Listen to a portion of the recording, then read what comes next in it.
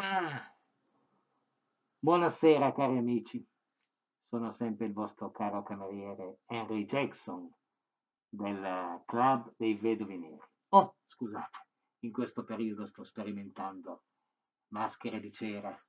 Ecco, me ne sono fatta una più o meno simile al mio volto. La lascio qua un attimo. Bene, mentre il Club dei Vedovi Neri è di là, che sta ancora mangiando al tavolo, si è concluso il nostro primo enigma. Il nostro primo enigma del nostro club dei Vedovi Neri, che voglio ringraziare per quelli che per primi si sono lanciati nel raccontare la storia mitica del cuore rivelatore. Ma abbiamo tempo da far passare chiusi qua in questo ristorante fuori non possiamo uscire, c'è questa nebbia strana dove si intravedono personaggi così misteriosi. Appena esci, eh, scompari. E allora meglio stare al rifugio dentro il ristorante. Mangiamo e ci raccontiamo storie di enigmi o storie poliziesche o misteriose o fantastiche di grandi autori. E proprio per questo, prima di tornare a servire il club dei vedovi neri, che voglio ringraziare, che mi tengono sempre con loro, nonostante questo periodo dove fuori c'è la nebbia e dentro c'è apparentemente la sicurezza. Andremo a raccontare un secondo enigma. Dopo appunto la storia del cuore rivelatore, il secondo enigma ha sempre Edgar Allan Poe come autore ed è proprio perfetta di questi tempi in cui fuori c'è questa nebbia misteriosa che fa così paura e che è così pericolosa. Andremo a raccontare la storia della maschera della morte rossa. Maschera, combinazione. Il calco del mio volto, la maschera della morte rossa.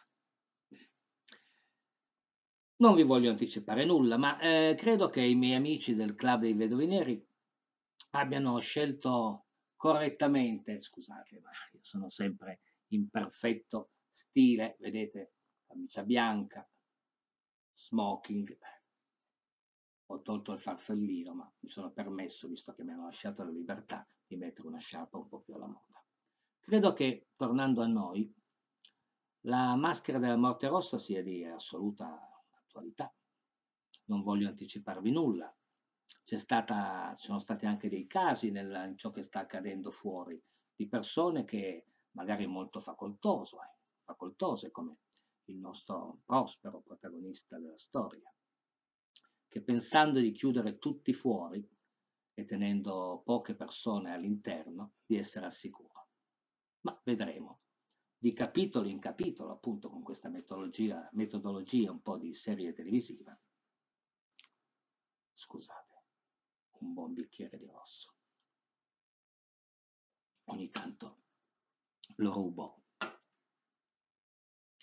dai membri del club, non se ne accorgono, si fidano di me direi attuale, perché molti sono chiusi ricconi, non so, in grandi, in grandi alberghi, pensando di tenere fuori il male, ma il male si può infilare ovunque. Come sempre mi hanno lasciato il privilegio di introdurre il primo capitolo della maschera della morte rossa e con grande onore e sicuramente non all'altezza del club dei vedovi neri vado a introdurre.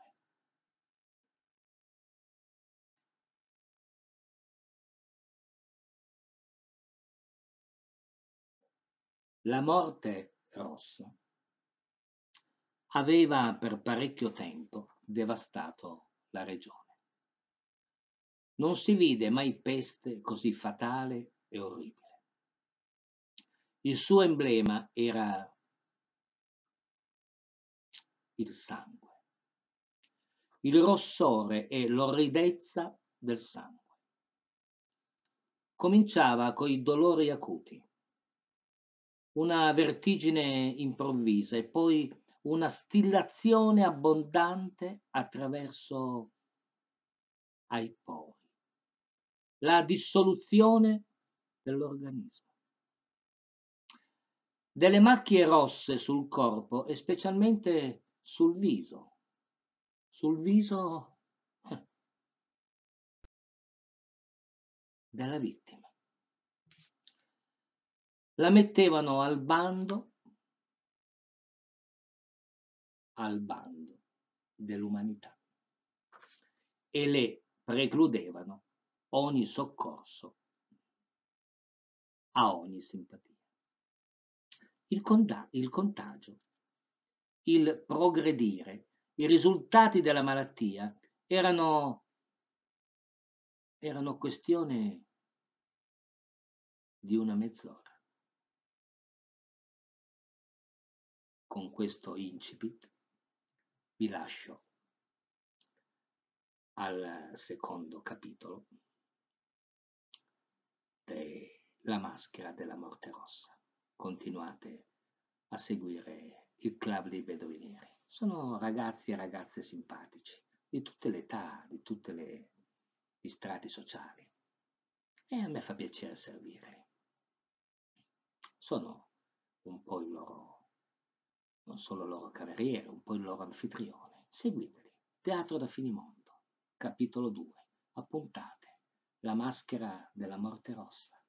I vedovi neri. Io intanto torno a sperimentare le mie maschere di cera.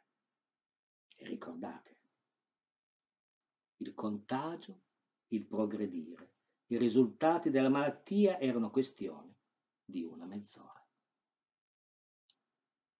você vai contar.